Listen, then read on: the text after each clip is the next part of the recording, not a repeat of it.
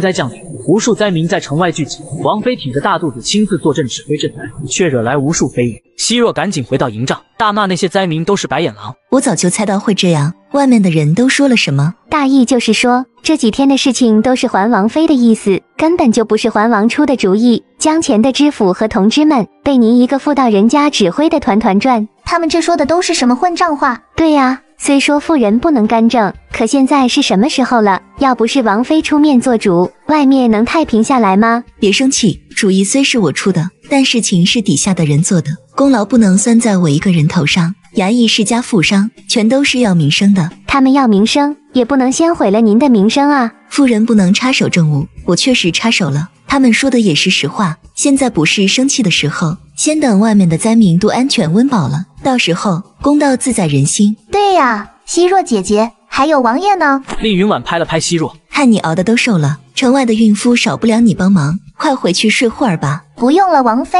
奴婢还要出城一趟，看谁在胡说八道，就替您撕烂他的嘴。去接王爷的人一个都没有回来吗？没有，王爷去的那几个先帝处偏僻，消息可能没这么快。王爷亲身涉险，却一点消息都没有，我怕他出事。王妃，您的脸色不好看。请大夫来给您看看吧。大夫都去了城外，现在为了我的脸色就叫过来像什么样子？等到太阳落山，要是王爷还没回来，我就回府，这总行了吧？好，奴婢再给您拿碗粥。宁云婉在营帐里消停了一天，因为外面舆论闹得太大，知府已经不派人往这边送消息。大人糊涂啊！王妃只是个妇人，您怎么能？这可都是王爷的意思，白纸黑字写着，还有王爷的章。王爷人呢？守了外面的灾民好几天，王爷影子都没见着。去给王爷身边的人传话，请王爷过来主持大局。我今天就看你能不能请来王爷。愣着干什么？还不快去！师爷无奈，又去了令云婉暂住的院子。王妃，现在同志们又闹起来了，非要王爷亲自出面主持大局。我让王府的幕僚先出面应付，王爷应该很快就会回来了。桓王迟迟没有露面的消息，很快就传到了城外。读书人们吃饱了聚在一起，听说桓王妃坐镇救灾，竟然敢号令文武官员，有的人就不满了。王妃一个妇道人家，怎么好抛头露面？这要是我家的娘子，我早就把人休了。就是。江前衙门里那些官员干什么吃的？就在这种事，还要听一个妇人的？呜呼哀哉，呜呼哀哉！夏静跨步上前夺了对方手里的碗，这粥你不配吃，你抢我的粥干什么？还给我！是你的粥，你睁大眼睛看看。夏静把碗举起，上面赫然一个血了“还”字。你敢背后说还王妃？你有种就别吃还王府的粥啊！就是端碗吃粮，放碗骂娘。你的书读到狗肚子里了。我吃的还王爷的粥，你赶紧还给我！夏静没有理他。有什么了不起的？我不吃王府的粥就罢了。那是林府的王妃娘家的粥棚。书生气得脸红脖子粗，转头走向苏家粥棚。苏家是王妃母族。我我去卢家总行了吧？大爷您排别家，我们卢府不接济诋毁王妃的人。你你你，有辱斯文，有辱斯文！快看啊，那是桓王。桓王在城楼上，齐令恒风尘仆仆地赶回江前，第一时间站上城楼。灾民们看到桓王现身，纷纷跪地叩拜，感谢桓王施粥之恩。阿福，走吧，咱们下去会一会江前官员。此时府衙大堂里，知府坐在首位，看下面的官员吵得面红耳赤。诸位同僚，赈灾的功劳可不能让一个妇人给夺了去。没错，这就是妇人干政，我必要参上。你想参谁？下官拜见桓王。本王身体不适。托王妃替本王传书盖印送出来，是谁不服？下官不敢。本王忧虑江前水灾，夜不能寐。王妃怀着身孕，为本王为江前百姓出谋献策，得本王允许，才整理成书，一道道传下来。而你们不光心里没有百姓，也不为本王分忧，还在这里造谣生事。你们究竟是想污蔑王妃，还是说意在本王？官员们吓得全都跪地磕头。王爷息怒，下官不敢。齐令恒冷眼扫过去，冷哼一声，便起身离开，来到令云婉的营帐外。王妃在哪里？她怀着身子跟这群酒囊饭袋子打交道，他们还敢说她的不好，真是气死我了。王爷，王妃刚睡下，您小声一点。齐令恒赶紧闭嘴，来到营帐内，心疼的握住令云婉的手。王爷，您回来了。我回来了。一个偏院的县城里出了点乱子，杀了几个，就耽搁了。回来就好，这几天我要担心死了。辛苦你了，云婉，我送你回去。您不在的时候，我用了您的私印，现在江前府衙里有一些。我知道，回来的路上我就听说了一些。放心吧，我先处置了几个，但现在还不是挨个料理的时候。等灾民安置好了，我再挨个找他们算账。王爷，您留在这儿坐镇吧，我自己可以回去。这里已经不缺人主持大局了，但我是你的丈夫。孩子的父亲总不能把你们放在后面。好，那就一起回去。厉云婉回府后睡了整整一天，第二天晚上才起床。王妃，您总算醒了，真是吓死奴婢了。难得这孩子没有踢我，小世子也知道您辛苦，心疼您呢。你怎么知道是世子？万一是个女孩儿呢？奴婢做梦梦到了，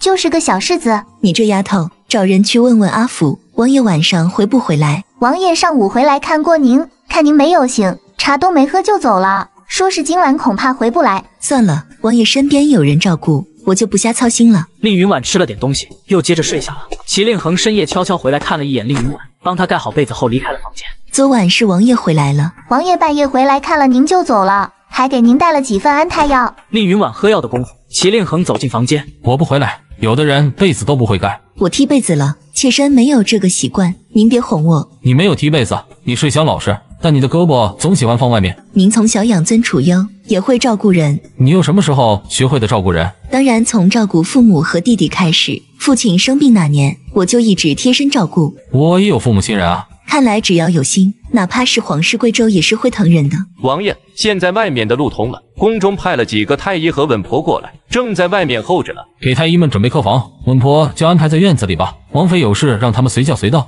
王爷，赈灾还需要你坐镇，快去忙吧。好，你这段时间不能马虎，把希若也叫回来帮忙吧。齐令恒走后，希若带着太医走进房间。王妃的脉象平稳，没有大碍。应该就是这两天就要生了。希若，你这段时间也累得不轻，让太医给你把个脉吧。太医给希若把脉，恭喜夫人是喜脉，太好了。翠庆，带太医下去淋上。希若也是满脸喜色，端来汤药为令云婉服下。还赖在我这干什么？就不急着回去告诉你丈夫？王爷今天召集了江前和省里的官员在论赏罚，夫君没有那么快回来。刚才没听王爷说赏罚官员的事情啊？不知道他会怎么做。好了好了，你现在是有身子的人了，也不要跟着忙活了。王妃是不是忘了，奴婢是习武出身的，您可别小看了奴婢。另一边的江前府衙内，文武官员齐聚一堂，这何止是论功行赏，分明是是为护环王妃。当时奉命行事的都赏了，违逆王妃命令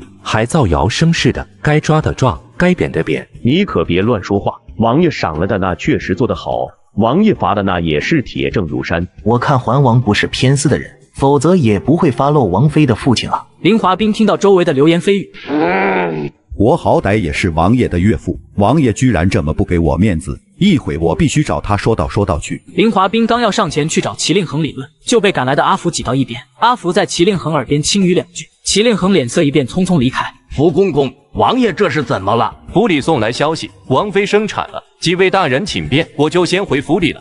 大岳父仗着国舅身份，趁着天灾到处捞钱，却被桓王秋后算账。林华斌刚要找齐令恒讨个公道，却得知假女儿即将生产。齐令恒急匆匆回到王府，刚进院子就听到令云婉痛苦的喊叫声。齐令恒站在门外，心急如焚。不是说早就已经胎动了吗？怎么还没生下来？王爷，产程就是顺利，也要两三个时辰的。已经过去多久了？刚过去半个时辰。齐令恒在门口坐立难安，不顾劝阻冲进产房，还是被婆子们拉住，拦在屏风后面。是王爷来了吗？云婉，是我，你怎么样了？令云婉心安了不少，但疼得说不出话。齐令恒没得到回应，还要继续往里闯，婆子们死死拽住齐令恒。王妃用力，孩子的头已经出来了。婴儿啼哭，恭喜王妃，恭喜王爷，是位小世子。齐令恒冲到令云婉身边，拉住她的手。云婉，辛苦你了。王爷，我没事。孩子在哪里？翠青抱着孩子过来。这里，这里，世子长得真好看，又白又嫩的。云婉，你看，孩子长得真像你。令云婉抱过孩子看了看，还真是挺白的。王爷，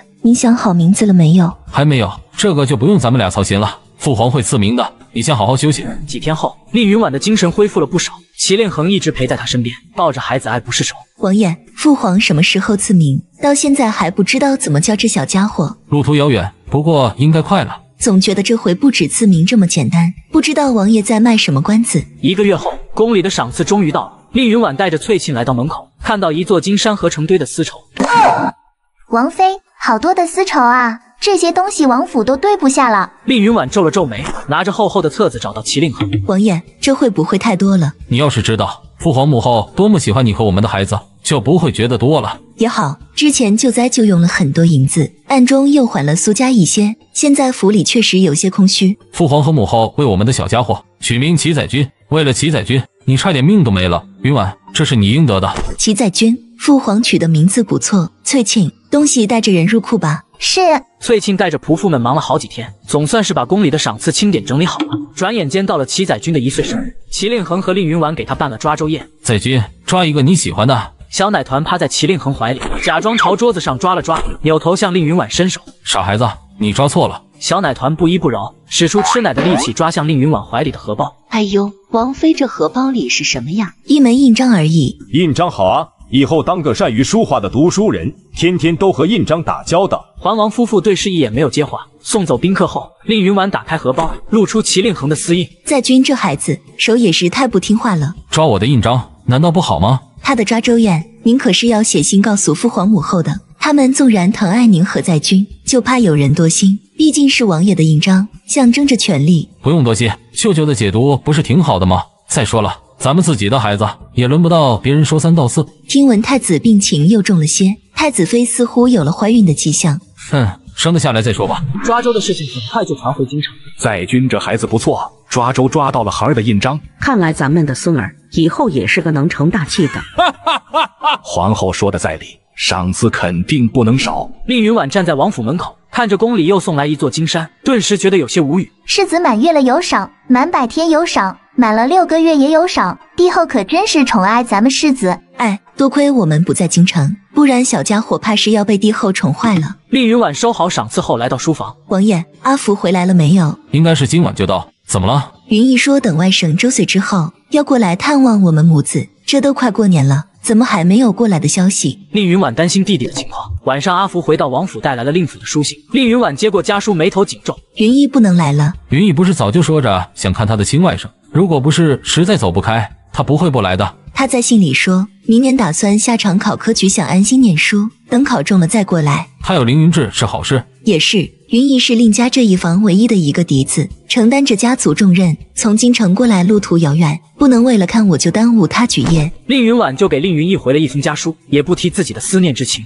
只让他和母亲保重身体。你先回去休息吧，一会我拿给阿福。令云婉点点头，离开书房。片刻后，阿福进来，我觉得是有蹊跷。你送信之后打听清楚，云逸为什么突然就不过来？是半个月后。阿福带来了京城的消息，齐令恒把令云婉喊到书房。阿福，你说的是真的吗？云逸要说亲了。云逸这个年纪也是该说亲了。王妃，奴婢已经打听清楚了，易少爷已经相看两个姑娘了。易少爷说今时又没准儿，就不想提前和您还有王妃说，一个都没相看成吗？姐两性之好，又不是挑白菜，哪能看一眼就能成？也是，云逸既要读书又要定亲，肯定忙得分身乏术。等他有好消息，再接他来江钱。好，都听王爷的。转眼间半年过去，乡试出榜后，齐令恒又把阿福派去京城看榜。令云婉心念弟弟，整日翘首以盼。云婉，你放宽心，阿福日夜兼程，也得日落西山才能到。我实在是太久没有见到云逸和我母亲了。齐载君跑过来，母妃抱。齐令恒把儿子抱起来，娘在等你舅舅的消息，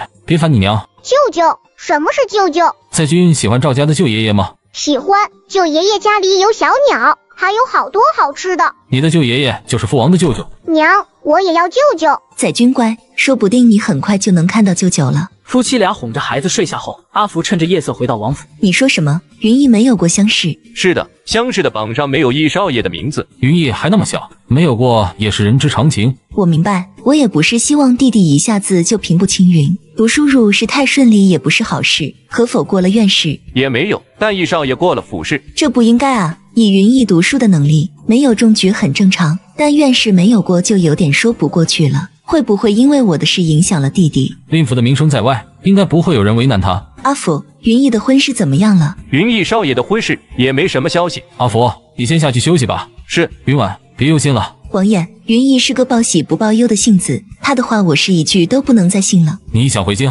先不急，我想找的人不是还没有找到吗？你也先帮我查清楚，云逸为什么没有过府试，总得准备万全了再回去。也好，那人确实不太好找，我再催催手底下的人动作快点。半个月后，令云婉收到了一封令云逸送过来的家书。您看看，云逸说一切都好，他总说家里什么事都没有，可实际上呢？您派去的人怎么说的？齐令恒犹豫了一下，还是把收到的消息告诉令云婉。嗯，好一个陆家，我本以为自己死了。和武定侯府的债就没有了，我都想放过他们了，没想到鲁家的人居然还在纠缠。云婉，你别怕，怕有王爷在，怕的人应该是他们吧？我已经让手下的人散出去了，相信很快就能有结果。唉先让云逸专心读书吧，回京也不是说回就能回去的，还要皇帝下旨意，藩王和家眷才能离开封地。放心吧，一切有我。转眼间四年过去，又到了科举之年，京城里来了圣旨，召桓王与桓王妃回京。儿臣接旨。王爷，我们真的能回去了吗？当然是真的，事情我都安排好了。这次回去，新仇旧恨，咱们一起跟陆家算个清楚。孩子不知怎么生来这般活泼，规矩教过百遍，他不想听的地方，任人怎么教都不听。假死主母出走七年，终于要杀回京城复仇，令云婉难掩激动，却在儿子的礼仪上犯了难。母妃，我真不能抱着皇祖父和皇祖母亲近吗？不行，宫里有宫里的规矩。那和舅舅呢？你自己看着办吧。你舅舅要是揍你，我可不管的。熏儿放心，你皇祖父和皇祖母舍不得揍你。王爷，您还在这里煽风点火。我和儿子说的是实话。王爷，您就惯着他吧。我看他这天不怕地不怕的小霸王性子，真是随了您了。王爷、王妃，林二老爷来了，先让他在穿堂里等着，我们马上过去。奴婢这就过去。令云婉梳妆的功夫，翠庆回来传话：王妃，二老爷过来是说想请您和王爷过府，为您和王爷践行。还有呢？奴婢见二老爷好像言语急迫。似乎是想打听您和王爷此去还回不回来，看来是想跟着我们一起去京城。水灾事情之后，他在江前的日子可不好过，看来是按捺不住，把眼光放到京城去了。他也不看看自己有没有那个本事。江前好歹还有林氏一族做他的靠山，这样都出不了头，难道去了京城就能出头？蠢的人总是不知道自己是蠢的那个。走吧。咱们去见见我这位便宜岳父。令云婉和齐令恒来到客厅，令云婉俯身一礼：“二老爷，王妃不必行礼，下官受之有愧。林大人请坐。听闻王爷、王妃不日就要离开江前回京城了，旨意来的突然，我与王爷也不好耽搁了圣上旨意，就不麻烦二老爷为我们践行了。这可是千载难逢的好机会啊！我要是现在不能跟去京城，以后恐怕就没机会了。这几年我可从来没有在王爷面前摆谱，现在他们都要走了。”我请他们帮点忙，应该不过分吧？王爷、王妃，我这几年在衙门里实在是做不出政绩，我自觉有愧，有心造福百姓，又不得志，想来是那衙门不适合我。两位既要走，能不能走之前将我也调离江前？齐令恒像是没听到一样。林华斌见状，赶紧转头看向令云婉。王妃，不管怎么说，我从未上门求过您二位，这一次也是最后一次。我话都说的这么明白了。还王妃欠他林府的恩情，总要还的吧？本王心里有数，您二老爷放心。王爷，此话当真？当然当真。你在江前沉寂几年，也是时候升迁了。但是眼下家里事情繁杂，您二老爷先回去等消息。最迟我们离开江前那日，你的调令就到。王爷，下官下官，你先别激动，回去等着就是了。下官告退。您真要带他去京城？林华斌那个性格过去了，打着国舅的名声是个麻烦。您没真的想带他去京城吧？他本来也只说要离开江前，又没说要去京城。这样看来，二老爷真是答应了。几天后，江前码头，环王府举家搬迁，无数世家纷纷派人前来送行。齐令恒辞别众人后，带着家眷登上大船。林华斌回到林府，非常兴奋。等下去一趟衙门，我的调令也该到了。老爷我啊，就要升京官了。真的吗？那就恭喜老爷了。老爷又在吹牛了。这几年我算是看出来了，老爷在王妃心里根本就没有什么分量。左边，你随我一起到衙门去。曼姨娘在马车里等了半天，林华斌在出来的时候脸色黑沉沉的。老爷，您怎么了？不是要当京官了吗？官职太小还是？林华斌沉默不语，来到林老夫人住处。林老夫人看到调令，当场就撕了个粉碎。王爷怎么会突然把你调任到那种地方去？母亲是儿子。自己去求的，罢了罢了，真是造孽啊！与此同时，皇家的大船上，七载君正缠着令云婉撒娇：“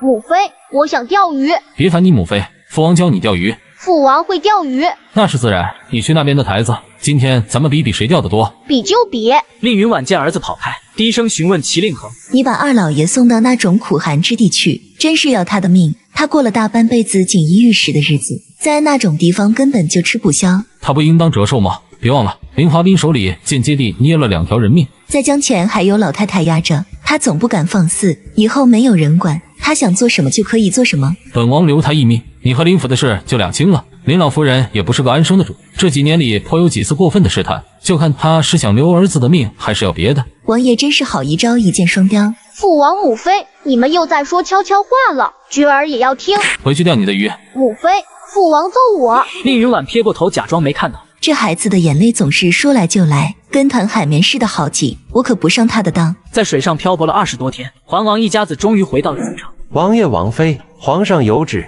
您二位一路舟车劳顿，先回府休息，明日再进宫。云婉，我先和你去见了你母亲和弟弟，再带齐载君进宫拜见父皇母后。这怎么行？不急在这一时半刻，先进宫面圣吧。也好，我们刚回来，肯定有不少人盯着。你一向谨慎，就先委屈你几天吧。阿福说府里已经收拾好了，正好让君儿好好休息一晚。夫妻俩休整了一晚，第二天就带着哈欠连天的齐载君进宫见景顺帝和赵皇后。儿臣儿媳携皇孙齐载君拜见父皇母后。拜见父皇母后。起来吧，来人赐座。快把皇孙带过来，本宫仔细瞧瞧。小主子，您和奴婢过来见见您的皇祖母。母妃，那是神仙吗？是你皇祖父和皇祖母。你皇祖母想亲近你，还不快去？齐载君犹犹豫豫地走到皇后面前。君儿，到皇祖母这里来。齐载君，你皇祖母和你说话听到没有？你在家里怎么学的规矩？令云婉闻言心里一沉，皇孙规矩学不好，那就是母亲的过错。皇上这是在敲打我了。皇上急什么？孩子家还那么小，可怜还是在外吃着苦头长大的，规矩的是慢慢来。哼，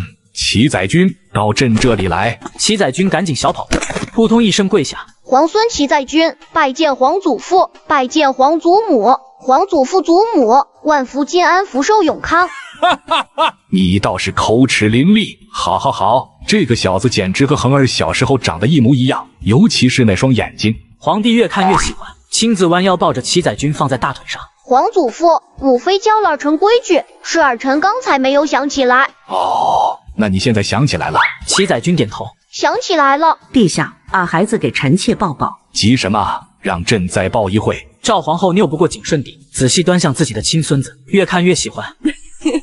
皇祖母，您笑什么？笑你这个小淘气，现在才回京城，叫皇祖母好一顿想。来人，赐宴坤宁宫。一家人用完了饭，移步暖阁去说话。眼看天已经黑了，但赵皇后和景顺帝实在舍不得孙子，也舍不得放人。母后，君儿已经想睡了，您把他给乳母吧。赵皇后舍不得松手，景顺帝也装没有听到。父皇、母后，君儿挑床，您这儿可有软被？铺几层给君儿睡会儿。有啊，本宫床榻上就有现成的。陛下，在君既然这都睡这了，何不睡到明天早上再走，省得折腾孩子。也好也好。令云婉悄悄地扯了下齐令恒的袖子，把君儿、乳母一起留在这里吧，咱们先回家。好看父皇和母后这架势，君儿今天是抱不走了。行了，时候不早了，你们舟车劳顿也累了，回去好好休息几日吧。儿臣告退。儿媳告退。放心吧，云婉，父皇母后只是喜欢君儿，过几天就送回来了。妾身一点都不担心这个，这个混世小魔王，我巴不得他去磨一下别人。第二天一早，翠庆进来伺候令云婉。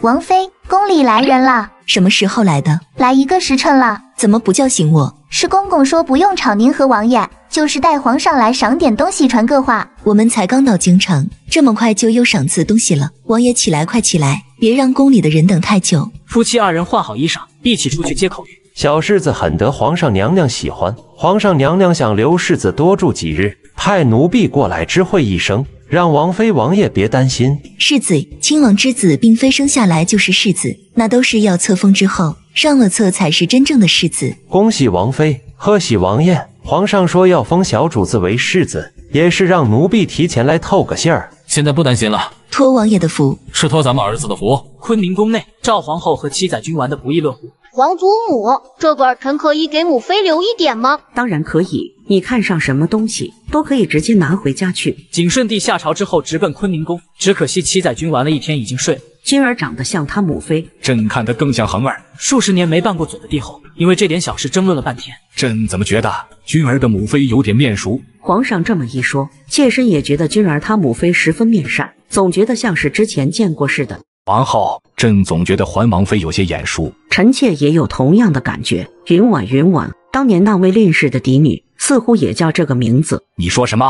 陛下息怒，臣妾认为恒儿未必有这么大的胆子。哼，朕的儿子什么样，朕还不清楚吗？来人呐，给我查，务必把林氏的一切都给我查得清清楚楚。另一边，还不知道自己身世被怀疑的令云婉，正在王府里犯愁。云婉皱着眉头做什么？在君在宫里不会有事的。我自然不是在担心在君，只是在想要用什么理由回去看望母亲。这有何难？本王多年后回京，贤王妃拜见师母也说得过去。咱们低调点上门就是了。还是不能太明显。王爷，咱们多去几家您相熟的府里，最后再陪我回家吧。云婉，你真是太稳健了。如此也好，那咱们就多转几圈。令云婉陪着齐令恒在京城拜访一圈，最后终于来到令家。七年了，我终于回来了。张还王妃，王爷里面请。令云婉死死地攥着帕子，跟着令云逸进内院。令夫人扑上来，我的儿，我的儿，你真的活着吗？齐令恒自觉地避开了。令云逸带着他到隔壁去喝茶说话。云婉，让娘看看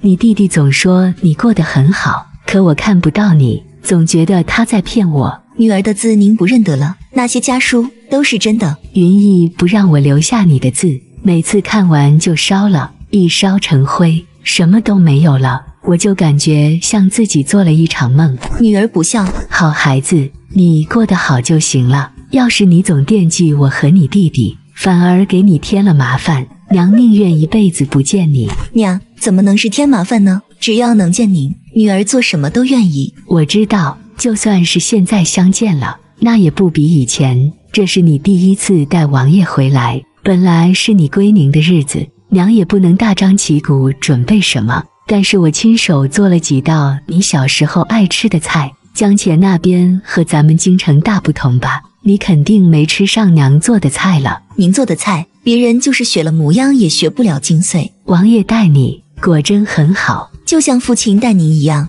甚至比父亲还要更温柔细心一些。好，好，好，那就好。夫婿体贴最是难得。云婉，如今你也算是涅槃了。你和王爷怎么打算，就怎么去做吧。娘不问不管，但你弟弟永远是你的弟弟，娘永远是你的娘。令氏族里的人，咱们就不要指望了。族老们如今还好，当年我能从武定侯府里出来，族人们也是出了力的。好是好。不过，光耀门庭从来不是易事。令氏现在也是越来越不成了。读书人也有读书人的矛盾，令氏一族也开始示威，没有真正可以挑大梁的人，都是家里的琐事。咱们不说这个了。您现在什么都看得见了吗？流眼泪也没事了，和平常老妇的眼睛已经没什么区别了。利七老爷心善。隔一两年回京的时候，还过来看看我，是看在夏老夫人和王爷的面子上，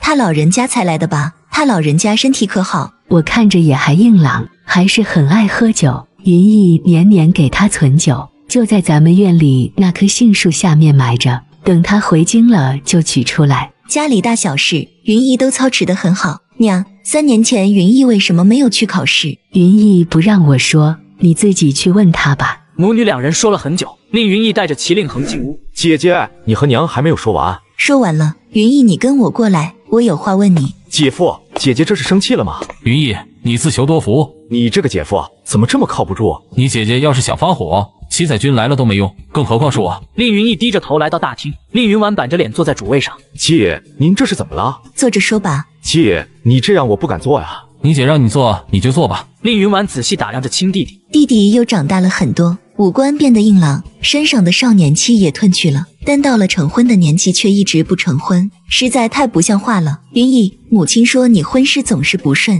和姐姐说说，怎么一个两个的姑娘家你都看不上？长姐，不是我挑剔，前两年与我相看的千金小姐也不过十二三岁，天真烂漫，他们的父母也很宠爱他们。这样的姑娘好是好，但不是个可以长家的人。娘总是说姑娘家温柔端庄就行了。长姐，我觉得不够，一家主母与当家的男子一样的重要。弟弟还真是长大了，竟然考虑的这么深。有没有和母亲说你的想法？怎么没说？母亲说要娶这样识大体的妻子，要么是丧母的长女，照顾过弟弟妹妹，所以很懂事，但他们年纪比我大；要么是二家的妇人，年纪也比我大很多。我倒是不挑剔，可娘她又觉得不好。其实也不全是我相看不上旁人，那也有人家挑我嫌我的呀。挑你什么？你性格一向宽和，要真有什么不好的，人家说了他自然会改。今年还要下场考试，成亲的事再等等吧。说到考试，云逸，三年前你怎么连同生试都没有过？你是没有考过还是没有考？拉肚子拉了几天，错过了考试，可惜了。没过同生试就参加不了乡试，即便你上次乡试没有考中。有一次考试的经验，今年曲中的把握总会更大一点。令云婉看着弟弟神色尴尬，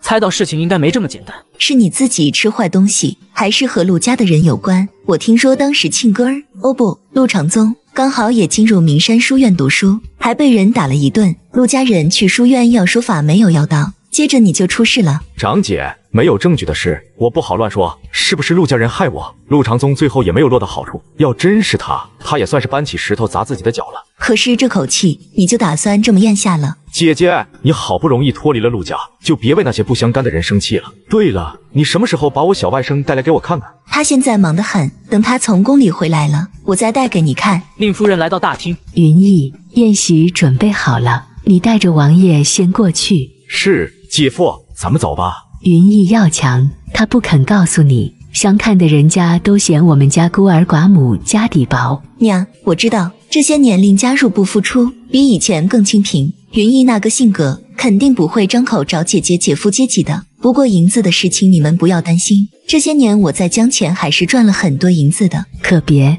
你弟弟和你父亲一样脾气倔的呀，家里还过得下去。你自己的银子自己留着。云逸的话也有道理，要是娶回来的妇人不能和他同甘共苦，光靠银子娶回家，以后大难临头各自飞嘛。但是我也不能看着你们过这般苦日子啊。云婉，家里的事你弟弟有自己的想法，你就不要操心了。最近还有人牵线，要把常家的嫡女说给云逸，都定好了日子，五天之后就去寺里相看。娘，刚才怎么没听您提？你弟弟不让我提，说等事成了再告诉你，好让你高兴。哪个常夫人离开京城多年，这京城里的人情关系，我还真有些摸不清楚了。常府尹的妻子才来京城两三年，你不认得，但是听说他们家的长女知书达理，嫁得很好，幼女定然也不差。那也好。我得先和云逸好好谈谈。令云婉和齐令恒陪着令夫人吃过饭后，令云逸送姐姐和姐夫出门。云逸，你这孩子怎么什么事都不跟我说？长姐，还王妃也不是好当的，我再让你操心我的事，我岂不是无能？好姐姐，你就让我这个做弟弟的为你也为家里撑着点。云逸，你什么时候还学会跟我来这套了？方法无好坏，管用就行。别的我就不管了。但你成亲的事，我与母亲毕竟比你方便与内宅夫人结交。也比你知晓的多，你总要听一听我们的意思。听姐你说的我都听，那就指着姐姐给我寻一位良妻了。这才像我弟弟从前的样子。云婉，天不早了，咱们回吧。令云婉恋恋不舍地看了一眼令府大人，跟着齐令恒回到王府。云婉，苦了你了。我有什么苦？丧夫的长女，令家以前都靠你操持吧。王爷，为了家人，我并不觉得苦；为了您和君儿，也不苦的。云逸的事情，你就认定是陆家做的？八九不离十。名山书院以学风闻名，里面都是真正的读书人。陆家是什么门第？陆长宗不学无术，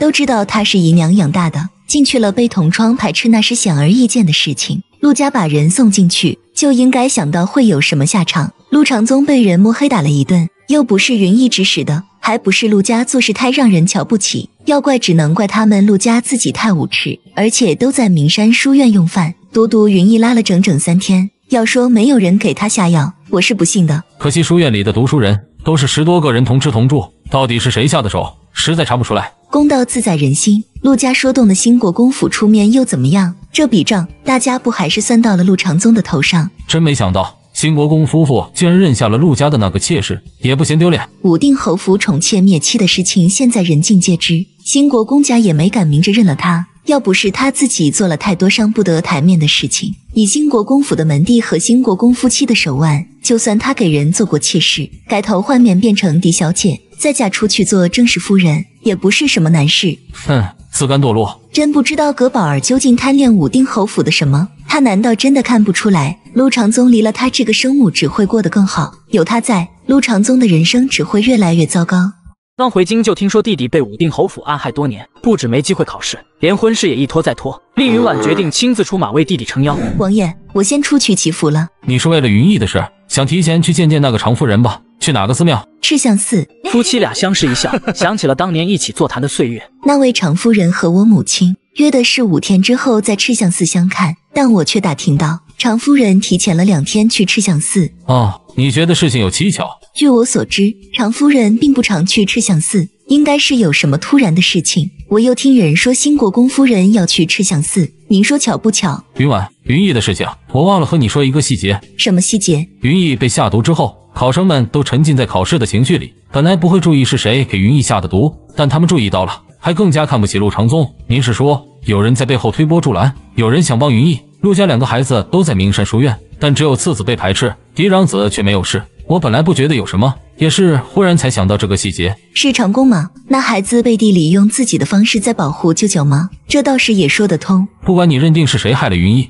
对也好，错也罢，你想怎么做就怎么做，不然也枉费你做我的环王妃。我还以为你想劝我做事谨慎点，没有证据不要轻举妄动。毕竟葛宝儿的背后是兴国公府，要是这点事还要受气，我这环王也是白当了。快上马车吧，我若回得早，就到赤相寺去接你。厉云婉来到赤相寺，先去了一间偏殿。当年就是这间屋子吧？我带长工过来的时候，记得小沙弥说住持在提对联，让长工也帮忙提一幅。当年的那幅墨宝竟然还在。阿弥陀佛，女施主，师傅你好。施主，这是陆家大少爷少年时的墨宝。哪位陆家大少爷？施主难道不知道？正是武定侯府陆家大少爷。哦，原来如此。听施主口音，似乎不是京城本地人。陆家大少爷陆长公是名山书院的学生，他的隶书写的一卷，现在已经是一字难求。他这幅墨宝在我寺已经留了七年，已经一字难求了吗？看来长工这些年进步很大啊。正是难求。本来主持想再求一幅陆大少爷墨宝。是陆大少爷说，他这一幅是他人生中最难得的一幅，主持才作罢，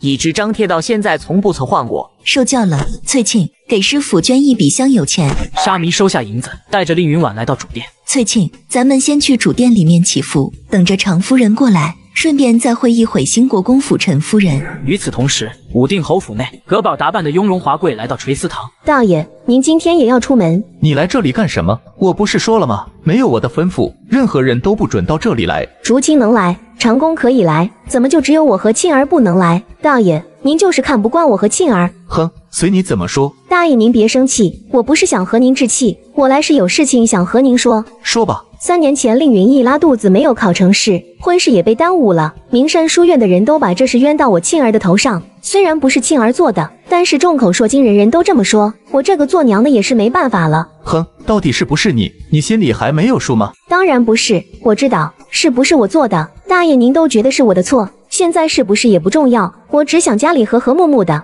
听说顺天府尹家的常大人想把自己的女儿嫁给令允义，我托了我母亲去见常夫人。帮令家说说好话，这门婚事要是能成，两家最好能重修就好。您去和令云逸说，让名山书院的学生少欺负庆儿。重修就好？你读了几年书，还是没有读透啊？你自己觉得可能吗？不管两家还能不能缓和关系，总之只要庆儿好好的，我做什么都愿意。我母亲今天就去赤相寺见常夫人，这个人情您记得传达给令家。葛宝假装擦了擦眼泪，见陆征流无动于衷，干脆扫兴的离开。另一边，葛宝回了院子。姨娘，您真的要夫人去帮令家说好话啊？怎么可能？令云一胆敢笼络那么多人，一起欺负我的庆儿，我还帮他？凭什么？那您刚才跟老爷说，可我不得不表面这么做，不然大爷和庆儿都会更恨我。我就想不明白了，我已经给了庆儿最好的，大爷想做什么生意，我每次都厚着脸皮求我父亲母亲帮他，我帮他管着这个破烂的家，我到底哪里不如他啊？七年了，没有一个人念着我的好。他刚死的时候，天知道我是怎么过来的。我的庆儿，我才是他亲娘啊，到现在都不肯叫我一声母亲。葛宝擦了擦眼泪，询问丫鬟：“老夫人怎么样了？今天倒是吃了两顿。走吧，咱们去看看老夫人。”陆老夫人躺在床上骨瘦如柴，看见葛宝就像见了鬼。毒妇，毒妇去死！你下地狱！不是您先给我下的毒吗？我只是有样学样，生不如死的感觉，您不喜欢吗？陆老夫人眼神空洞，张开嘴流了很多口水。云婉，云婉，回来吧，云婉，我错了。别做梦了，他死了，他已经死了。陆征流刚走出大门，突然改了主意。大雁不去码头了吗？去赤相寺，我就不信葛宝儿有那么好心。好歹我曾经是云逸的姐夫，不能眼睁睁看着云逸婚事总是耽搁着。此时，令云婉刚爬上赤相寺的山腰，在凉亭上站了会儿，就不想再往上去了。就坐这儿吧，王妃，我先把垫子给您铺上。在外面就叫我夫人吧，不要称呼王妃了，免得引人耳目。是夫人。令云婉在凉亭上休息，一对妇人也朝山上走来。兴国公府这样的人家，我只在亲朋好友的口中听说过。还从没想到真能攀附上陈家，谁知道竟然陈夫人竟然这么好说话，才刚认识就这般和气。陈夫人，您先请。客气什么？咱们一起上去。两人看到上面的凉亭有人，干脆就在山腰的石桌前坐下。陈夫人，您今天怎么有空来上香了？我也是刚操办完自己家侄女的婚事，我这个做大伯母的，少不得帮忙长眼。你是不知道，这姑娘家的婚事，那可不比小爷的好说。唉，可不是嘛？你怎么也苦恼这个？听说你大女儿嫁的极好，公婆都是很通情达理的人家。实不相瞒，我家两个女儿，我还有个小女儿，今年刚及笄。她性格有点骄纵，姑娘家没出嫁，多少都有点儿。等去了婆家，自然就好了。可就是这通情达理的婆家不好找呀。他身后的一位妈妈站出来，低声嘀咕：“听说常家不是正在和令家的少爷相看吗？”这位妈妈，你从哪儿听说的？事关女孩儿家的名声，这话可不是胡说的。婚事没有落定之前，这种消息都是不能传出去的。你别紧张，其实是这样，有人托了我家这位妈妈，想让我在你面前帮林家那孩子说点好话。我还以为今天是偶遇，没想到根本就不是啊！陈夫人，您不早说，您吓我一跳，我还以为是令家那边口风不仅到处传播此事，那我们常家可万万不能和这种人家做亲家的。没有没有，常夫人你多心了。令家的孩子，我听人说很是不错。虽然家里孤儿寡母，但是他小小年纪就在名山书院读书，在同窗们面前口碑很好。听说还是个孝顺有担当的孩子。陈夫人，令家既然请人拖到您面前来了，那您可见过那孩子？那孩子真像旁人说的那么好吗？这个嘛，陈夫人欲言又止。常夫人见状，当场就急了：“陈夫人，事关小女婚事，您可得有什么就和我说什么。我既然受人所托。”有些话我是不方便说的，常夫人，有些事您应该也听说了，您自己好好想一想就是。什么？这里面还真有了不得的事啊！令小爷他可怜的姐姐已经死了很多年了吧？那是他姐姐的事，常家嫁女儿，那是要嫁令家的男子，跟令家死了的一个女子有什么关系？你再想想。听说他才学出众，可是三年前那场科举，他不光没有考乡试，连同生试都没有过啊！这是确实不对劲，哎，有些话我不能说啊，您就和我说吧。我毕竟受人所托，没有办成就算了，怎么还能说别人家见不光的事？常夫人，奴婢多嘴说几句，您随便听听。夫人知不知道，令家小爷三年前不是没有考中，是压根就没有去考试。我知道，是因为他闹肚子了。夫人可能不知道，名山书院的学生就只有他一个人拉肚子，您说奇不奇怪？妈妈。这可怎么说？他若是被人害的，旁人何不去害别人？只害他一个。他要是自己不想去，才借故避开考试。您说他一个念书那么出众的人，为什么不去考试？为什么？难道说他不敢？这令家小爷到底是个什么人？我女儿要是嫁过去，不就是掉进虎狼窝了？有些人情关系，我们家夫人实在推脱不掉，但又不忍心看着您家如花似玉的女孩。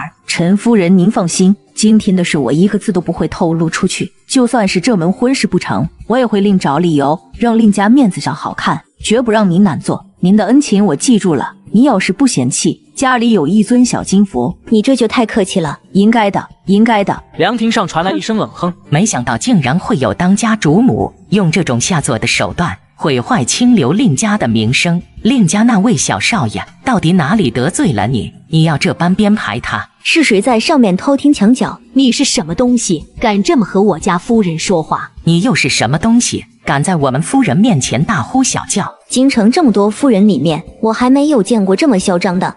这太太简直是坏透了，倚仗着国公夫人的身份，全力打压女儿情敌的弟弟，不但设计让令云逸缺考科举，更是亲自出面败坏他名声。这么嚣张的人，我还是头一次见。莫非京城里又新崛起了什么世家不成？你去问问对方是什么背景？不知这位。是哪家府上的夫人？吕妈妈拦在前面，看都不看兴国公府的妈妈。这位夫人，有些事耳听为虚，您还是要自己亲眼所见才好。恐怕那上座的妇人是王公贵族家的年轻媳妇子，不比兴国公府差，还是不要得罪比较好。不知这位夫人是什么意思？方才我在庭上休息，无意间听到两位谈话。素闻清流令氏子弟品行出众，令家那位小爷更是令家子弟中的翘楚。可在你身旁那位夫人口中，他却成了窃考品行不端之人，我当真很费解。不过还有不到两个月就要乡试，那位小爷总不会再次窃考，最多再等三个月乡试放榜，夫人不就知道真相了吗？何必在这里听别人蛊惑？我还真是猪油蒙了心。这位夫人说的有道理啊，只要再等三个月，厉云逸到底是真才实学。还是浪得虚名，不就真相大白了？陈夫人为什么要急着这时候在他面前说令云逸的坏话？多谢这位夫人提点。常夫人这是什么意思？我也是一片好心，你若觉得我有歹意，不听也罢。陈夫人装作生气的样子，转头就要走。常夫人有点不知所措，本来想去拉一下，心里又不情愿。好了，咱们回府吧。陈夫人和常夫人都不动了，转头去看令云婉，奈何令云婉戴着面纱，一点也看不见，只看到她的奢华衣裙。去问问赤相寺的知客，今天来的那年轻妇人是谁家的媳妇？竟然这样不把我放在眼里，是婆子找到一个小沙弥打听令云婉的身份。施主对不住，住持说这位夫人没有提前下帖子，临时叩门进来的，我们也不知道是哪位府上的贵人。不妙啊！赤相寺怎么可能不知对方身份就把人放进来？也不怕冲撞了他们兴国公府？对方身份肯定不简单。婆子快步回去和陈夫人报。住持都不愿意透露身份，说是一位贵人。我倒要看是什么样的贵人，敢挡我兴国公府的路。夫人，那位夫人搅糊了姑奶奶交代的事，奴婢怎么去给姑奶奶回话？我那个可怜的女儿啊，从小不知道在外面吃了多少苦头，堂堂国公府的嫡女，竟然沦落为一个妾室，是我亏欠了这孩子的。常家不信我的话也就罢了，他难道还敢得罪新国公府？今天从这里回去，我看他也不敢和令家结亲，更不敢说我公府的坏话。你就和姑奶奶说事情办成了。是，这也能叫办成了。夫人未免也太惯着姑奶奶了。另一边，常夫人刚走出赤相寺，突然被一个男人拦住。常夫人脚扰了，晚辈是武定侯府的嫡长子陆大爷，有什么事？我是为令家之事而来，请问夫人，今日在赤相寺中，是不是遇到了兴国公府陈夫人？怎么今天我过来的事情传得这么快？是啊，怎么了？他应该是表面上想撮合您女儿和令家小爷的婚事，实际上没有少说云逸的坏话吧？令家到底是怎么办事的？怎么都闹到人尽皆知了？我想起来了，您武定侯府曾娶了令家小爷的嫡姐。正是，不怕告诉您家丑，我府上一小妾是陈夫人她一位至亲，因小妾看不惯我发妻母族吝家，这才请了兴国公府陈夫人过来毁了云逸婚事。这位陆大爷怎么回事？像这么大的家族密事，怎么一股脑全告诉我了？您说的都是真的？自然是真的。云逸是位极好的少年，才貌双全，练氏教育出来的子弟又文武兼修，还有两月便是乡试。您不如等到云逸乡试放了榜，就知道云逸有多么值得托付。要不是怕耽误了云逸婚事，我绝不会将家丑外扬。不管程夫人说了什么，请您不要轻信。你们还真有意思，我女儿和令家小爷那可八字还没有一撇，你们就轮番过来说服我。一个公府主母，一个年轻贵妇，一个侯门长子，我都不知道该信你们谁的。我们常家庙小，配不上令家。什么贵妇？我不认识，我都没看见她的长相。你们武定侯府应该认识吧？年轻尊贵，声音悦耳，她也是和你一般的说法，很为那位令小爷说话。她也是刚出寺庙，应该还没走远。陆大爷，告辞了。那贵妇又是谁？京城里除了我，还有谁会关心云逸的婚事？陆征流想到此处，快步向前追上环王府的马车，远远看到令云婉被人搀扶着上了马车，只一眼他就辨认出了那道熟悉的身影。云婉，那是云婉吗？陆征流拼命向前跑，结果被石头绊倒。云婉，云婉，是我啊！你别走，云婉。常府的马车从他身边经过，常夫人冷哼一声，关上车窗。夫人，您是相信陆家和那位夫人说的话，还是信陈夫人的话？这还用说吗？我刚才也是被新国公夫人的身份给唬住了。仔细想想，当然是那位夫人的话说的有道理，恐怕是令家得罪过陈家，或者那位陆家大爷说的是事实。那夫人您怎么想的呢？小姐马上就要去和令家小爷相看，这到底是相看还不是相看了？算了，不相看了。兴国公府纵然说的是假话，咱们也得当真话听，不然陈家以后想给老爷穿小鞋，小姐就是嫁出去，那也没有好日子过。况且令小爷才十七岁，今年就能中举吗？十七岁的秀才不少见，十七岁的举人，你家夫人我到现在也没有见到几个，错过也没什么可惜的。奴婢听闻令家小爷风评十分不错，小姐若是错过这个好的，怎么可能那么好的就给我们家捡到了？要真是好的，也等不到十八九岁才订婚。我女儿必要嫁到好人家去过舒心的日子。那令家得罪了兴国公府，恐怕是凶多吉少了。回去就和媒人说，就不和令家那位小爷相看了。令云婉的马车走到半路，迎面就碰到了来接她的齐令恒。幸好没错过你，赶不上您别就别赶了。这要是走了岔路，您不就白跑一趟了？这不是正好赶上了？今天在赤相寺顺不顺利？见到常夫人和兴国公府陈夫人了吗？你觉得怎么样？云逸和常家的婚事，你满不满意？常家并不坚定，常夫人也没有眼力。云逸要是自己也不满意，倒不必和这样的人家结亲。那你还和他们费口舌？我总不能平白看着他们污蔑云逸，要是传出去了，云逸的名声就更差了。他什么时候成得了亲？云逸是个极好的弟弟，以后做了丈夫也是个很好的丈夫。云婉，你别自责，好姻缘不怕等。王爷说的对，我想见云逸一面，能不能让他到府里来一趟？阿福，听到了没有？你现在去书院把云逸带过来，速去速回。夫妻二人回到王府不久，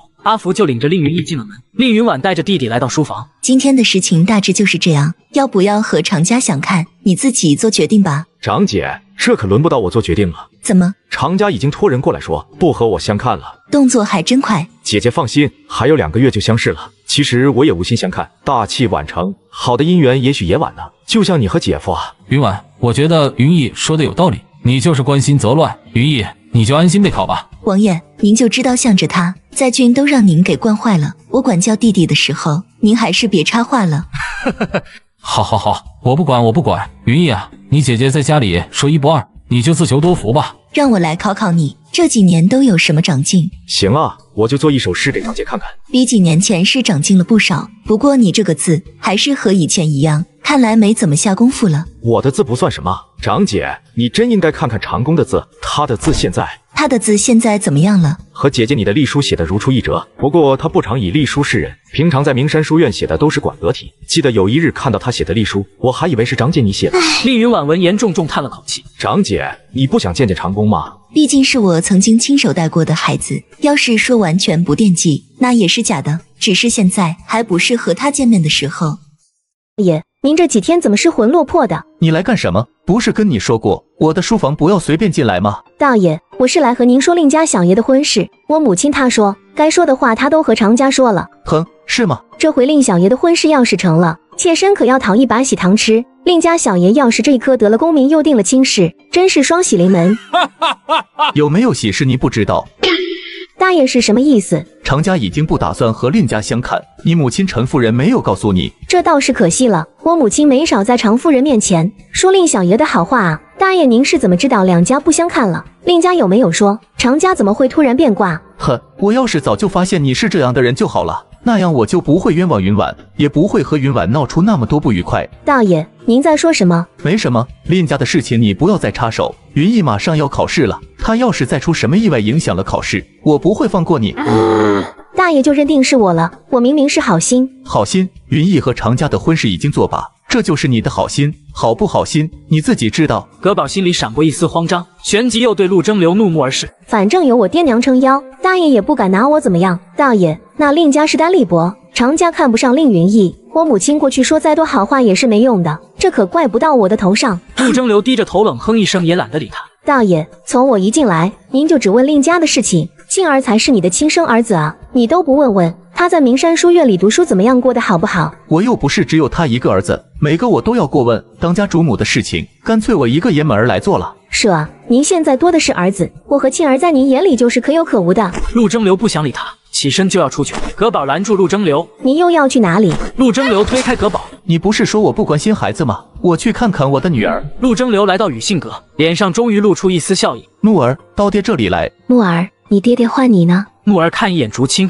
不情不愿地从床上蹦下来，走到陆征流面前行礼：“女儿见过父亲。”木儿过来，让爹抱抱。父亲，女儿大了，姨娘说男女七岁不同席，木儿已经不能让父亲抱了。哎，云婉死后，我沉寂太久了，现在想善待家人，女儿已经跟我不亲了。陆征流摸了摸木儿的发髻，你这垂髫计也输不了多久了。木儿像只受惊的小兔子，躲到竹青身后。因为女儿长大了呀，大爷，木儿这孩子胆小。您别在心上，她是我女儿，我自然不会放心上。这时，陆长公进屋，看到陆征流也在这里，脸上的笑意淡了不少。父亲，长公来了啊，来看木儿。木儿要看书，我找了几本送过来。你马上就要乡试了，这点小事还亲自过来，让下人跑腿不就行了？小丫头非要我亲自送来。木儿上前抱住长工的大腿，仰着头看他。谢谢大哥，这几本书够你看一阵子。今年中秋我要考试，你在家好好的，不准哭闹。我不哭闹。木儿知道大哥要金榜题名的，木儿在家里等着别人敲锣打鼓上门贺喜。木儿，这吉祥话是谁教你的？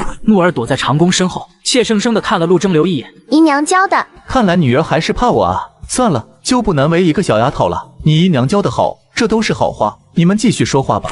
长工，你一会来书房一趟，我有话要跟你说。陆长工等着陆征流离开后，向竹青行礼。姨娘，木儿，我先走了。大哥，你快点考完，木儿等着你带我出去玩儿呢。姨娘，中秋之后给她换个发髻吧。好，大少爷您安心考试，木儿一定乖乖的。陆长工点点头，出去追陆征流了。木儿，以后就要这样亲近大少爷，知道吗？娘，我最喜欢大哥了，大哥对我也是最好的。你这丫头，生来就命好，真不知你怎么投的胎，竟有两分像咱们夫人。娘，谁是夫人？葛姨娘吗？呸，姓葛的就是个下贱的东西，她也配和夫人比？竹青想到不该在女儿面前说难听的话，连忙改口。夫人是你大哥的母亲，是这天底下最好的人。你看你大哥就知道了，他现在身上很有夫人的影子。娘，那夫人在哪里？我能见她吗？我想见大哥的母亲。见不到了，我也见不到了。你要是见到了，也该叫她一声母亲的。竹青抹了抹眼泪，忽然想到令家已经替死去的夫人拿了和离书。的，你不能叫她母亲，她已经不是陆家的人了。她只是你大哥的母亲。长工来到书房，陆征流问了问他最近读书的事情，长工随便敷衍了几句就要离开。父亲，我去前院读书了。长工，你等等，我好像好像看到他了。父亲说的是谁？你母亲，那个人像极了他。父亲在哪里看到的？是相寺看到的，可能我看走眼了。怎么会是他？他都已经死了，肯定是父亲看错了。没什么事，儿子就先去了。可能是我看错了吧？你去忙吧。长工离开书房后，激动的浑身都在发抖。回来了，母亲她真的回来了。只是母亲还记得我吗？赤相寺，我要去看看。另一边，令云婉来到宫里，接到了一周未见的齐载君，抱着他坐上马车来到赤相寺，还说跟着我来祈福，都没到赤相寺就睡着了。夫人，给奴婢抱吧。好，我带翠沁去祈福，你带着君儿去厢房休息会儿。是。令云婉祈了福，想到云逸说长工的隶书写的和他很像，忍不住想看看长工小时候写的字。刚到门口，就看到一对崭新的门帘，很是眼熟。令云婉拦下一位小沙弥，这里的对联怎么换了？这位施主，贫僧得去问问住持。沙弥刚走，就看到屋子里出来一个少年人，是晚辈换的。令云婉侧头看向那少年，眼里热泪盈眶，又看了看墙上的新对联，难怪眼熟，就是我自己教出来的学生，能不眼熟吗？看来长工的字已经青出于蓝而胜于蓝了。令云婉几度开口，又不知道说什么，最后只点头称赞。新换的对联写得极好，谢夫人夸赞。我也习过隶书，不知有没有机会向小公子请教一番。荣幸之至，赤相寺有一片清静的竹林，这位夫人，请随我来。翠沁警惕地拦在令云婉身前。夫人，这人来历不明，您还是不要去了。没事的，这位小公子书法不俗，我跟他论几句书法。你去外面守着。是。令云婉跟着陆长工走到了竹林附近。长工，马上就要科考了，你怎么到这里来了？你长高了，也长大了。长工红了眼眶，跪在令云婉面前。您，您都没怎么变，还和以前一样的年轻。快起来，我都过而立了，还年轻呢。儿子没哄您，您一点都没有变老。长工话刚说出口，忽然想到自己已经不是他儿子了。羞愧的低头，不敢看厉云婉。长工，怎么了？母亲又梳了妇人的发髻，说明她已经成亲了，有丈夫，应该也有孩子了。我不过是她曾经照顾过一段时间的养子罢了，还是她厌恶的前夫的养子。母亲会不会连同我一起厌恶？长工想到此处，喘着粗气，低声询问：“我，我还能叫你母亲吗？我这个年纪，你不叫我母亲，还想叫我姐姐不成？”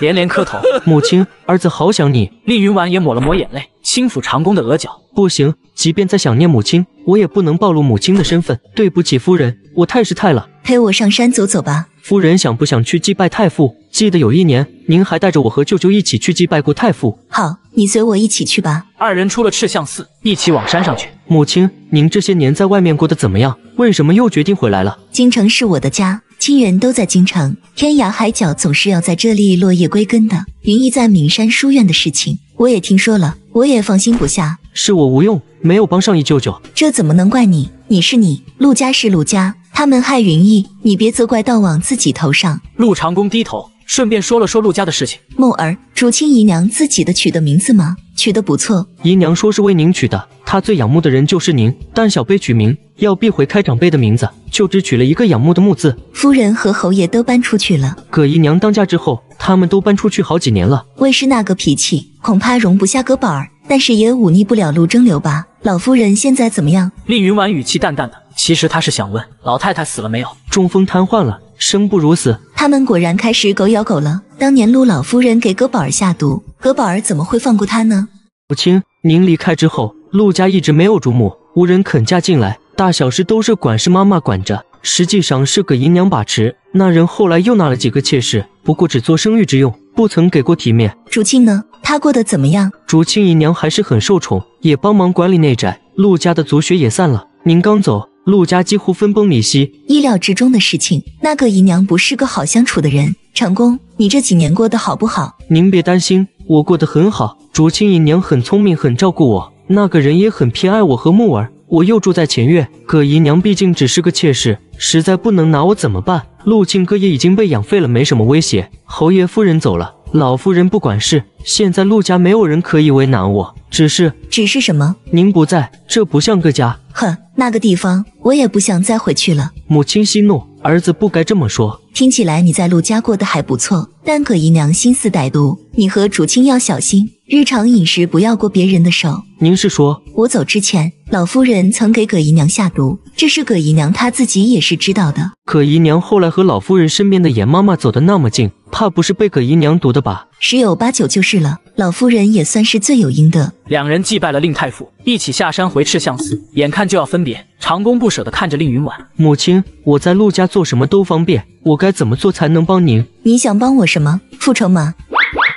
长工，我不要你帮我去做这种事，别脏了你自己的手。可是，听我的，你要好好念书。陆家的人都是在自取灭亡。您已经有成算了是吗？嗯，云姨三年前被下毒之后，是你帮的云姨吗？是的，您不在，我总不能眼睁睁看着一舅舅受欺负。当时已经让葛姨娘得手了，再让陆庆哥也痛痛快快的脱身，那我也太没用了。只可惜那时我能力有限，什么都为您做不了。读书才是正经事，这马上就要科考了。听说你去年就过了同生试，今年也要考乡试，几年寒窗苦读，不要把时间浪费在这些事情上。没想到你左下角这么快发货了。左下角可是极速通道，快着呢。儿子受教，一转眼你长得快比云逸都高了。个子高有什么用？我举业一直不如易舅舅。你还小，慢慢来，不着急。两人说说笑笑回到赤相寺内，翠庆守在偏门，看到令云婉从山上下来，急忙迎上去。夫人，小少爷醒了，去让吕妈妈把君儿抱出来。我们走吧。是。今日和小公子交谈书法之事，受教很多。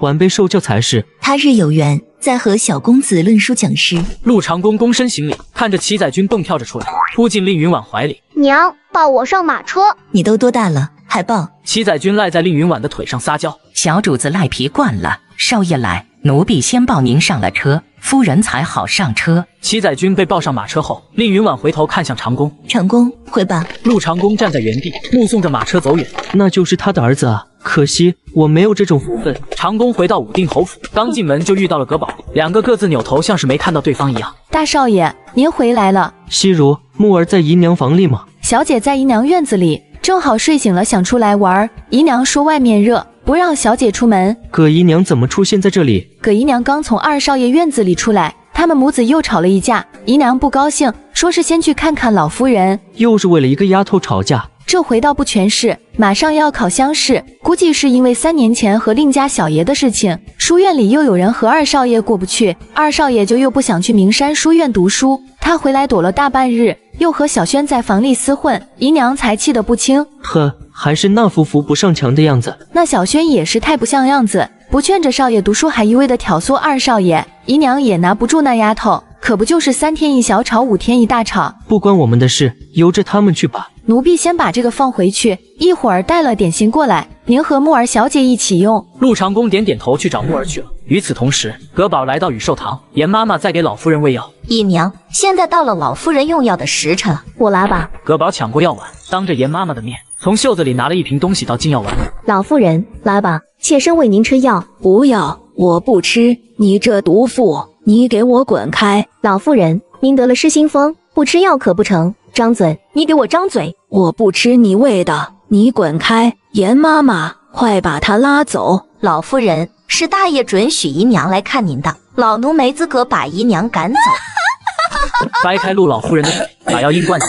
你们，你们合起伙来害我！你们害我啊！真烦人！枕头又湿了。葛宝心满意足的离开。回到房里扎小人。老妖婆，让你给我下毒，害我不能生育，要不然我怎么会只有沁儿这一个不成器的孩子？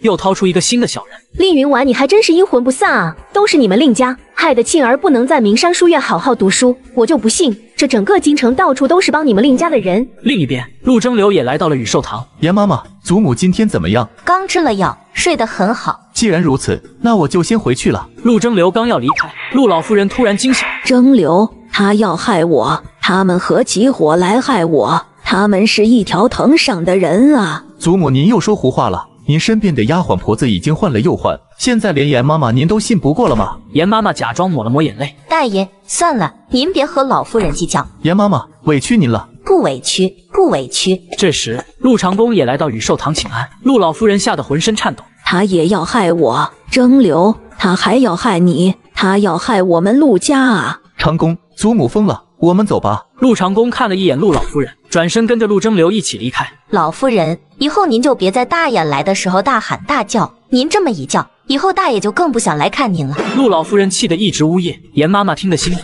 抓起一块抹布塞进陆老夫人口中。老夫人，这葛姨娘还真是有点手段，先是一个接一个威逼利诱您身边的人，神不知鬼不觉就让您瘫了。大夫来都看不出原因，您怀疑一个下人，大爷就过来打发一个，打发三个五个，大爷也烦了。现在这院子里都没几个人伺候了。要我说，您就别挣扎了。其实这日子过得也不错啊，有老奴伺候您，葛姨娘一个月也来不了几次，您还不如安分点儿，大家都好过。陆老夫人挣扎着扯掉嘴里的抹布，为什么？为什么你也背叛我？你为什么要听那个娼妇的？老夫人，我也是没有办法。现在陆家什么不靠着国公府，我儿子媳妇的前程都在姨娘手里。我这一把年纪，不为儿为孙，我能怎么办？作孽啊！为什么？为什么？云婉啊，云婉，以前您不是也逼着老奴给太太下毒吗？老奴也劝过了，可是您不听啊。现在不过是葛姨娘还到您身上来了，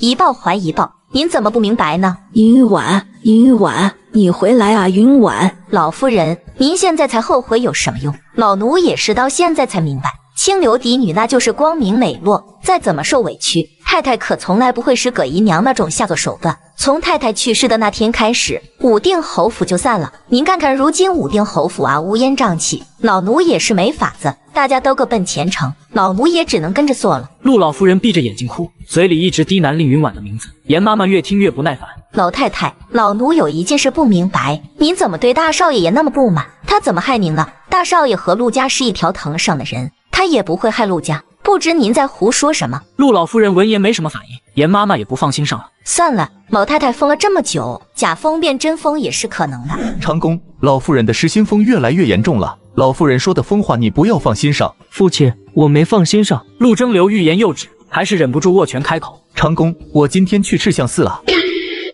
您去祈福了？不是，他为何突然跟我说这个？难道他看到我和母亲见面了吗？其实我还想去看看，还能不能再碰到那位夫人，就是我和你说过，有点像你母亲的那位夫人。长工沉默片刻后突然开口：“父亲，您其实不用再去赤象寺了。为什么？母亲已经死了。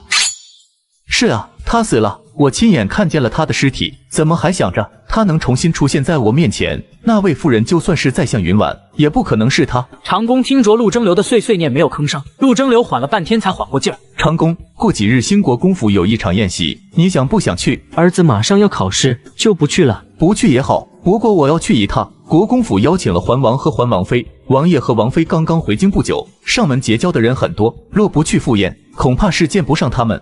长公，不去也好，不过我要去一趟。桓王应该是结交不上了，就看能不能从内宅里走出人情关系来。只可惜江前太远了。陆家和江前林家的人没有半分交集，也不知道那桓王妃是什么样的人。两人路过陆长宗的院子，讨厌，讨厌死了！他今天不是应该在名山书院吗？我已经从书院搬回家住了，我不知情罢了。你千万别学了陆长宗，你是你母亲亲自教养的，我知道你有你母亲的气节，以后陆家靠不了那个混账，就只能靠你。长公，好好读书入仕，你是武定侯府的希望。儿子明白。好了，你回去吧。儿子告退。此时的桓王府内，翠庆正伺候令云婉梳妆。王妃，少爷已经穿好衣裳了，带少爷过来吧。是。齐令恒练拳回来。云婉，你真要去国公府？早晚要去的。偏不巧，父皇今日召我进宫。父皇要是没有别的事，我去公府接你。王爷不用着急来接我们。今天父皇不是要找您商量君儿封世子的事情吗？嗯，换成别的事还能推辞，册封之事还是要去的。夫妻二人正说话的功夫，齐载君蹦蹦跳跳冲进房间，挤在父母中间分开两人的手，自己一边牵一个。齐令恒敲他的脑袋：“鬼灵精，谁教你的？”皇祖父、皇祖母总是抢着要抱我，我就一边抱一半。齐令恒抱起儿子放进令云婉怀里：“我可没抢你。”王爷您也真是的，跟儿子还这么不正经。时候不早了，咱们出发吧。一家子出了王府的门。分坐上两辆马车，一辆去皇宫，一辆去兴国公府。令云婉来到陈家，太子府的马车也刚好停在他的马车旁边。太子妃朝这边看了两眼，令云婉赶紧下车。太子妃，妹妹也到了，真是巧了，一起进去吧。是，太子妃您先请。太子身体不是就没有过来，七弟也没有陪着你来吗？你刚到京城，恐怕不清楚，这兴国公不比别家，还是该劝着王爷过来。父皇召王爷进宫了啊，是这样啊。两人简单交谈一番后，便不再说什么了。陈夫人身边的管事妈妈脚步匆忙路过这边，乍然听到令云婉说话的声音，惊了一惊。这不是那日赤相寺碰到的妇人吗？不行，我得去告诉夫人。管事妈妈跑回陈夫人身边而已：“跟在太子妃身边来的，你看着像是什么情形？”她虽然和太子妃走一起，但是看起来并不怎么亲近。那位夫人的打扮庄重归庄重，但是很素净，可比不上太子妃。应该不是什么大户人家出身，估摸着只是太子妃家的远亲。应该是了。像这种蹭宴席的权贵家的远亲穷亲戚，咱们国公府见得多了。太子妃的亲戚有什么了不起？那日在赤相寺，竟然就不把我放在眼里了。他还把本儿的事情给搅糊了。我今儿倒要看看太子妃怎么保着他。毕竟是太子妃家的亲戚，您就是看在太子面子上，也该给太子妃留点颜面啊！全京城谁不知道太子不中用？后院里的女人连个孩子也生不出来。况且太子和桓王关系还不好，要是太子妃的本家也就罢了，不过是太子妃家的远亲，我陈家还用给什么面子？夫人，太子妃来了，我过去打探打探，一听声音我就知道是不是她。令云婉和太子妃一起过来，陈夫人走出去迎接，见过太子妃。陈夫人还这么客气干什么？陈夫人目光转向了令云婉，眼神算不上友善。看来这陈夫人也不算是太蠢，应该是认出我了吧？陈夫人，这位夫人的声音听着很是熟悉啊！那日在赤相寺，我与陈夫人是有过一面之缘。好个嚣张的泼妇，你还敢承认？这不算什么缘。那日我连夫人的尊面都没见上。太子妃听出两人说话夹枪带棒，疑惑的看向令云婉。两位，这是怎么了？太子妃，不知这位夫人您家中什么亲戚？陈夫人这话好生奇怪，客人是你自己请来的，怎么问起我了？你带来的人。怎么变成我请来的了？太子妃，这位不是您家的亲戚吗？太子妃恍然大悟，终于明白误会在哪里了。国公府带路的丫鬟瑟瑟发抖的站出来：“夫人，这位是桓王妃。”哎，桓王妃，你是桓王妃？陈夫人顿时吓出一身冷汗。陈家人一向跋扈，这回可是自己做了死。陈夫人还不请我们进去？王妃里面请，太子妃请。令云婉带着齐载君进去。在大堂里环顾一圈，并没有看到陆家的人。陈夫人知道令云婉的身份后，不敢怠慢，让管事婆子去贴身服侍。婆子紧张的不小心打翻了碗，来洒了齐载君一身，吓得连忙跪地磕头。奴婢一时手滑，求王妃恕罪，少爷恕罪。你怎么伺候客人的？陈夫人别训斥这位妈妈了，是我家君儿忽然伸手惊到了她，还不快带小世子去洗漱更衣？她认生，我带她去吧。王妃，世子。请跟奴婢来。令云婉牵着齐载君，带着翠庆一起朝公府内院的客房走去。另一边，葛宝带着陆长宗坐在马车里。静儿，见你外祖母怎么还不高兴了？我说了想带小轩一起来。你是要气死你老娘？公府不比咱自己家，她一个小丫头怎么能带到这里来？你不也是姨娘？怎么你就能去？你跟谁学的？你就这么跟娘说话？我费尽心机送你去名山书院读书，你就学了这种下作的言语？我就是听名山书院的同窗说的。令云逸，又是他挑唆的那群读书人。令云晚被活活烧死的时候，怎么没有带着他弟弟一起去死啊？陆家三人来到兴国公府门口，葛宝和陆长宗被丫鬟引着去内院见嫂子刘氏。多日不见，嫂子这些时过得还好？哥儿姐儿都还好？我们奶奶一切都好。听说府里今日还请了桓王妃，嫂子可认得王妃？不认得。静儿不认得，未必敏儿不认得。王妃既肯到公府做客，那就是愿意与母亲和嫂子结交。那我也不知道有没有这个荣幸见王妃一面。姑奶奶要见王妃干什么？到时见了王妃，我们奶奶又怎么和王妃说起姑奶奶您？谁不知道我是嫂子的远房妹子？和王妃这么说不就行了？还是说嫂子不想认我这个妹子？我知道委屈了嫂子，嫂子不愿意，我和母亲说一声就是，何必派你这个丫鬟过来给我气受？姑奶奶想多了，我家奶奶怎么会有这个意思？只是王妃身份尊贵，就是我们家奶奶自己也不一定入得了王妃的眼，怎好带亲戚过去？入不入得了贵人的眼，各凭本事。对葛宝的厚脸皮已经无话可说。人往高处走，水往低处流。要是不试试，怎么知道事情成不成？奴婢见识短浅，不懂得这些道理。葛宝冷哼一声，也不理这丫鬟。另一边，陆征流和陈家世子身边的小厮也一起进了内院。世子怎么会在内院见我？回大爷话，世子腿摔了，在后院休养，现在在书房。世子摔了腿，怎么也不派人告诉我一声？这个小的就不知道了，小的只管宅子里通传的事。这时，两个丫鬟路过，听到二人的对话，轻声吐槽。这陆家的大爷还真把自己当公府的亲戚了。就是那姑奶奶也不知道是不是真的，夫人偏偏还当眼珠子一样捧着。陆征流将丫鬟的对话听得一清二楚，顿时觉得心里不舒服。哼，要不是今天桓王夫妻要过来，我才不来你们兴国公府。走到转弯的地方，陆征流忽见前方有一道熟悉的身影，是他。陆征流快步上前，看到那女人的侧脸，顿时瞪大了双眼。发了疯一样朝那边跑过去。云婉，是你吗？云婉，小厮吓傻。陆大爷，那是女眷住处，您不能乱跑啊！令云婉刚把齐载君送进客房，回头就看到一团黑影正在接近自己。陆征流快步跑到他身边停下，激动的伸出手。云婉，你没死，你没有死。哼，几年不见，差点忘了他的容貌了。令云婉冷着脸看过去，你是谁？云婉，我我是陆征流啊。令云婉没有理会陆征流，转身就要离开。陆征流又往前冲了一步。翠庆赶紧带着奴婢们拦住他。你是什么人？胆敢在公府内院冲撞王妃，还不退下？你说什么？王妃云婉，你嫁给了桓王。婉，我这么多年，我一直在等你，你没死，真是太好了。云婉，我们回家，你跟我回家好不好？想去牵令云婉的手，令云婉根本不躲，只是冷眼看着。几个丫鬟拦在前面，就像一堵墙，纷纷取下头上的簪子，逼着陆征流后退。云婉。你跟我回家好不好？你是不是认错人了？不可能，我不会认错的，我绝不会认错。云婉，我知道就是你，你就是化成灰，我也认的。下了阎王殿，我也不会忘了你。陆征流还想上前，再往前，别怪我府下无情。云婉，我知道你恨我宠妾灭妻，我真的知道我做错了，我以后会改。你先跟我回家好不好？还真是可笑，没想到有生之年还能听到陆征流认错。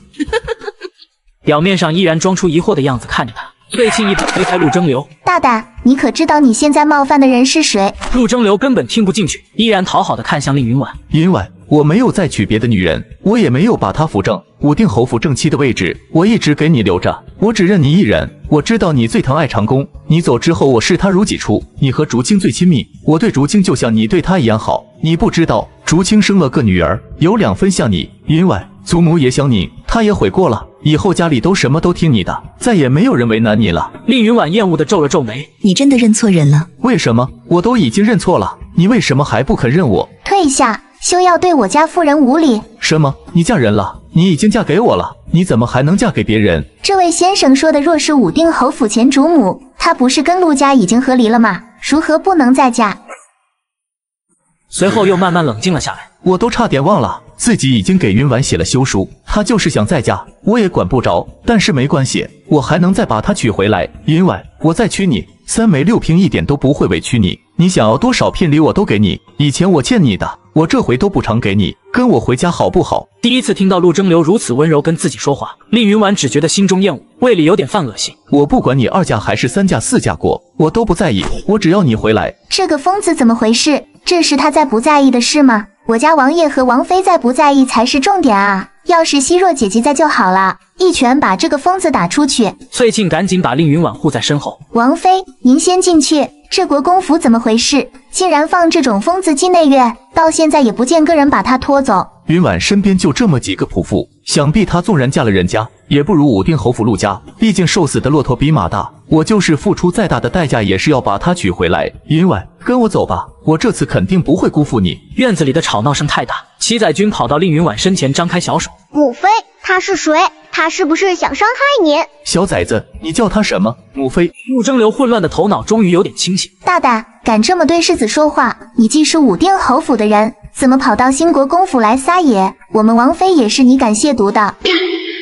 你你是桓王妃，你嫁给了桓王。兴国公府的管事妈妈看到眼前的场面，吓得腿软。陆征流身后的小厮听到令云婉的身份，也吓了一跳，连滚带爬跑去找陈世子。陆家大呀，这位是桓王妃，你在王妃面前发什么疯？她不光嫁了人，还有了孩子，嫁的是皇室，生的是皇孙。他现在的身份已经高不可攀，那我这辈子岂不是再也不可能重新娶到她了？这种疯子国公府以后千万看管好了。是是是，奴婢知道了。陆征流站在原地，彻底吓傻。令云婉牵着齐载君要走，陈夫人听到消息飞奔过来：“王妃，您没事吧？”哼，今日公府宴客，怎么放外男进来？本来女婿不算外男，可是国公爷说了，绝不允许公然承认葛宝是他女儿。罢了。还是先消了王妃的气再说。陈夫人上前扇了陆征流一个耳光：“你疯了！内院也是你敢乱闯的。”王妃，这位是我们家奶奶娘家妹子的夫婿，这是国公府哪门子亲戚，把人都绕晕了。另一边，齐令恒也来到了新国公府，在前院等了半天都没见到令云婉，顿时有些急了：“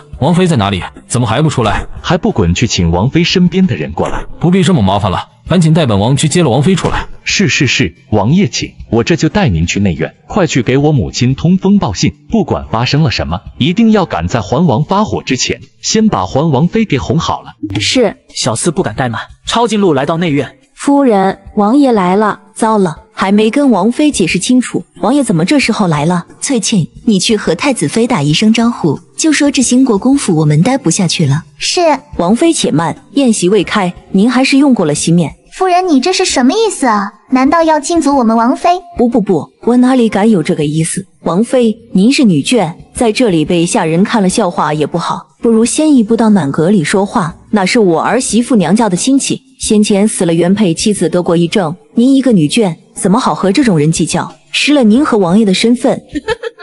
陈夫人，这是什么意思？国公府现在是要反过来指责我有错了？七载君挡在令云婉身前，气鼓鼓的撅着嘴：“你这老太婆怎么和我母妃说话的？”陈夫人闻言，顿时吓出一身冷汗。这位祖宗可是皇孙啊，谁不知道景顺帝最疼桓王，又最疼皇孙？事情好像已经不能按规矩来办了，世子误会了，臣妇没有冒犯王妃。我不误会我不知道，你还敢狡辩？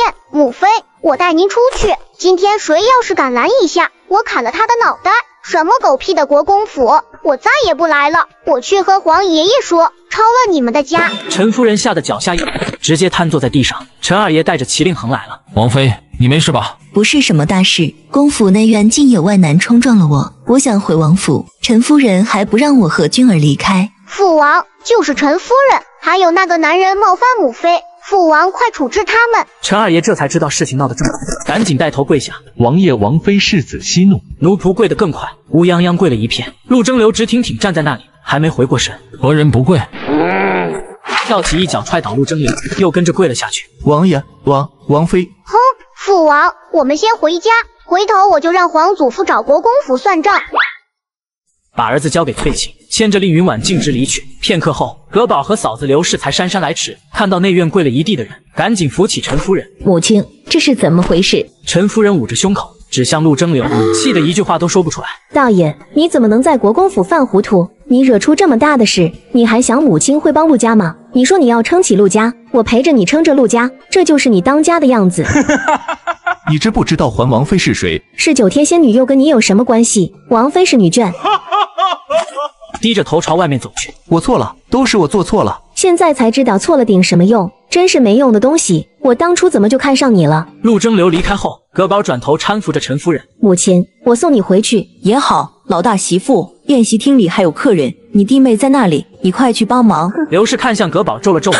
陈二爷也冷哼一声，两人各自带人离去。老二他是翅膀硬了，以为攀上桓王就能顶替你大哥做主了。回头我敲打敲打他。我先扶您回去歇歇。大爷今天在公府里做出这种事情，二哥不高兴也是应该的。宝，到底还是你贴心啊！女儿还不是给您惹了麻烦。可是母亲，这世上我只能依靠您了。不用担心，公府又不是小门小户，这点事情还影响不了你哥哥们的前程。母女俩平静之后，叫来管事妈妈过来，让她把二门上发生的事情从头到尾说一遍。你，你刚才说大爷他换王妃什么？云婉啊，姑奶奶，奴婢确定没有听错。葛宝脸色惨白。